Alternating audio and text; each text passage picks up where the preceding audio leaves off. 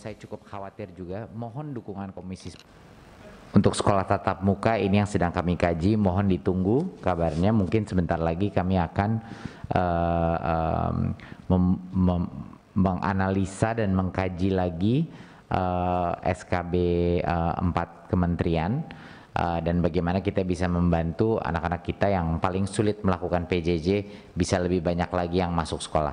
Saya konsisten dari awal membilang bahwa objektif utama, prioritas utama saya adalah mengembalikan anak ke sekolah tatap muka, tapi seaman mungkin. Jadi itu adalah komitmen saya, jadi mohon kesabaran, tapi pasti kami akan selalu meningkatkan kesempatan bagi yang paling sulit melakukan PJJ uh, akan bisa melaksanakan uh, format tatap muka.